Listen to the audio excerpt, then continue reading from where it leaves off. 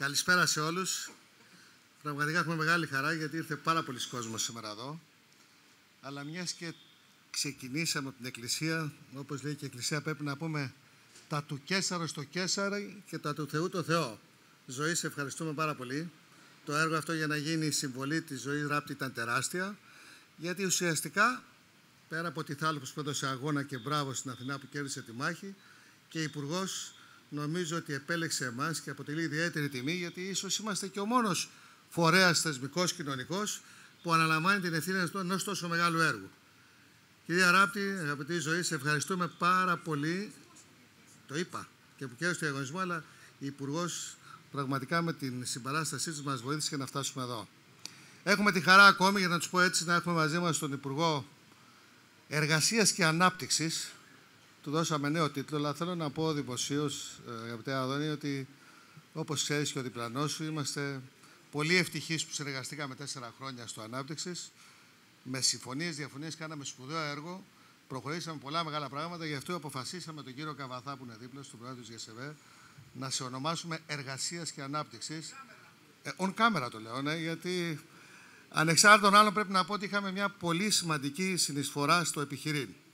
Να ευχαριστήσω τον κύριο Μπαρτζόπουλο που είναι σήμερα εδώ, τον Υπουργό, και νομίζω και λόγω ειδικότητας μπορεί να βοηθήσει. Και βέβαια πρέπει να ευχαριστήσω τον πολύ καλό μου φίλο, τον Δήμαρχο Αθήνας, τον Κώστα τον Πακογιάννη, γιατί πέρα από αυτά που είπε η Αθηνά, εγώ οφείλω να πω δημοσίως ότι κάνουμε πάρα πολλές δράσεις.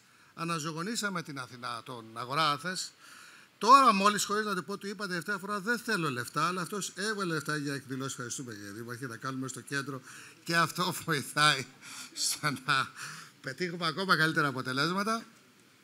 Την κυρία Γκαγκάκη που έχω συναντήσει πολλές φορές και ξέρω το πολύ σημαντικό έργο της. Δεν ξέρω αν αδίκησε κανέναν, αλλά θέλω να πω δύο λόγια. Τον κύριο Αβραμίδη, κύριε Αβραμίδη, είναι και πατριώτης μου, να είστε καλά. Βεβαίως, όλη τη Διοικητική Επιτροπή του Επαγγελματικού Επιλητηρίου Αθήνα και το Διοικητικό Συμβούλιο, γιατί έχουμε μια τεράστια παρουσία σήμερα εδώ. Πρέπει να σας πω, ξεκινώντας επιχειρηματικά, κυρία Άδωνη, κυρία Άδωνη, πρέπει να παρακολουθήσετε, κύριε Γεωργιάδη. Κύριε Γεωργιάδη, με ακούτε; Πρέπει να σας πω ότι εκτός από έργο ψυχική υγείας, αυτό ήταν ένα καταλημμένο κτίριο. Και αυτό το κτίριο, και μπράβο στην Αθηνά την Πάσιου για την προσπάθειά της, έγινε ένα πολύ όμορφο κτίριο, Δήμαρχε, γιατί όταν ήρθαμε εδώ ήταν πραγματικά αφημένος στη μοίρα του. Άρα, πέρα από το έργο που εσωτερικά θέλω να πω, αυτό το κτίριο αναβαθμίστηκε. Και το λέω με αφορμή ότι ξέρεις ότι έχουμε μιλήσει μαζί ότι στην Αθήνα έχουμε πάνω από 300 κτίρια δημόσια, παρακαλώ, και ιδιωτικά, τα οποία είναι αφημένα και είναι ευκαιρία να τα δώσετε στην επιχειρηματικότητα για να βοηθήσουμε και την επιχειρηματικότητα αλλά και να ομορφύνουμε το κέντρο. Κυρίες και κύριοι, το επαγγελματικό επιμελητήριο με δράση σε κάθε τομέα της επιχειρηματικότητας δεν υπάρχει τομέας που δεν έχουμε εμφανιστεί. Και οφείλω να σας πω εδώ, και ήταν να το πω στην αρχή, με θλίψη σήμερα κάνουμε την εκδήλωση, γιατί ξέρετε ότι όλοι έχουμε το βάρος των φωτιών που είναι σήμερα εν εξελίξει στο Λαγονίσι, στο Λουτράκι, στην, ε, στη Λιβαδιά. Ένα θέμα που θα μας απασχολεί και ευχόμαστε όλοι να μην έχει θύματα και να μην καταστραφούν περιουσίες. Όμως η ζωή πρέπει να συνεχίζεται και έλεγα ότι έχουμε δράσει παντού. Δεν υπάρχει θέμα της οικονομίας, της κοινωνίας που το επιμεδίο δεν είναι παρόν. Αυτή η δράση όμως έχει μια συγκεκριμένη και ιδιαίτερη σημασία. Μια επιχειρηματικότητα και ένας κόσμος ο οποίος σήμερα έχει υποφέρει πάρα πολλά σε αυτά τα 14 χρόνια της κρίσης. Θυμίζω, είχαμε μνημόνια, αμέσως μετά πανδημία, μετά ενεργειακή κρίση. Οδηγούν έναν κόσμο πολλές φορές στο να μην μπορεί να αντέξει την πίεση όλων αυτών των πραγμάτων. Η πίεση είναι τόσο μεγάλη που δεν είναι τυχαίο ότι σε αυτά τα χρόνια της κρίσης είχαμε πολύ μεγάλη κατανάλωση, αύξηση των πωλήσεων όλων των ψυχοφαρμάκων και των, α, αυτών που μπορούν να τον κάνουν καλύτερα, να νιώσεις καλύτερα. Όμως έχουμε ένα κόμπλεξ. Έχουμε ένα ταμπού ως χώρα. Δεν πάμε εύκολα στον ψυχολόγο και στον ψυχίατρο. Ένα θέμα που στην Ευρώπη έχει προχωρήσει εδώ και πολλές δεκαετίες. Και επιτέλους πρέπει να αποδεχτούμε την ανάγκη της υποστήριξης της ψυχοκοινωνικής, γιατί είναι πολύ λογικό σαν άνθρωποι να σπάμε. Αν μια μέρα δεν έχω να συντηρήσω την οικογένειά μου, δεν έχω να πληρώσω τις υποχρεώσεις μου, αν νομίζω ότι αυτή η αβεβαιότητα μπορεί να με οδηγήσει σε αδιέξοδα οικογενειακά, οικονομικά, ναι, χρειάζομαι τη στήριξη των ειδικών. Και αυτό είναι το έργο που θέλει σήμερα να κάνει αυτό το κέντρο υγείας.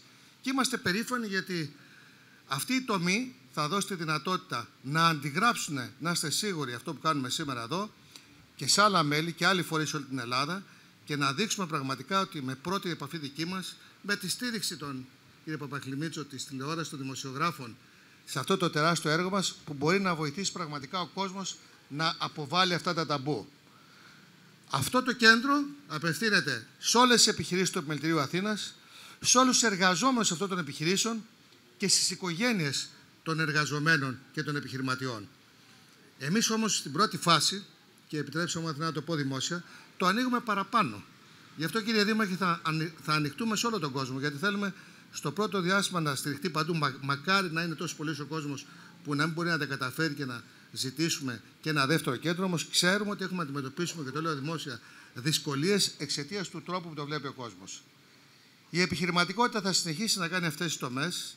Αισθανόμαστε υπερήφανοι ως επαγγελματικό επιμελητήριο της Αθήνας που ανοίγουμε πάρα πολλούς δρόμους σε πάρα πολλά ζητήματα με σήμερα συμβολικό το κέντρο ψυχικής υγείας. Θέλω να είστε βέβαιοι ότι δεν σταματάμε πουθενά. Θα κάνουμε ό,τι χρειάζεται για να κρατήσουμε όρθιες τι επιχειρήσεις, να καταφέρουμε να μπουν στην επόμενη εποχή, γιατί οι επιχειρήσεις δεν είναι κάτι αόριστο, δεν είναι κάτι ψυχρό, δεν είναι ένα κτίριο. Είναι άνθρωποι οι οποίοι δουλεύουν, οι οποίοι συντηρούν τις οικογένειές τους, οι οποίοι συμβάλλουν στην οικονομία. Είναι αυτοί που κράτησαν όρθια την χώρα μας στι περιόδου κρίσης και πρέπει σήμερα και αυτοί να απολαύσουν κάποια από τα αγαθά. Άρα, κύριε Υπουργέ της Κυβέρνησης, οφείλουμε να δούμε με άλλο μάτι αυτή την περιβόητη μικρομεσαία τάξη, τη ραχοκαλιά της ελληνικής οικονομίας και να τη δούμε με τρόπο που να αποδείξει ότι αυτά τα 15 χρόνια που χάθηκαν χωρίς να φταίνε, ήρθε η ώρα και αυτοί να πάρουν μέρος αυτού που σήμερα και η Ευρώπη αλλά και η πολιτεία μπορεί να τους δώσει ώστε να καταφέρουν να υπάρχουν αύριο και αυτοί και οι οικογένειές τους. Κάθε επιχείρηση που κλείνει για μας είναι πάρα πολύ σκληρό ή ανάποδα, αν θέλετε, λέμε πάντα σώζοντας μια επιχείρηση, σώζεις την ελληνική οικονομία. Να είστε καλά. Ευχαριστούμε πάρα πολύ για την παρουσία σας και να είστε σίγουροι θα κάνουμε τα πάντα για να πετύχει. Ευχαριστώ.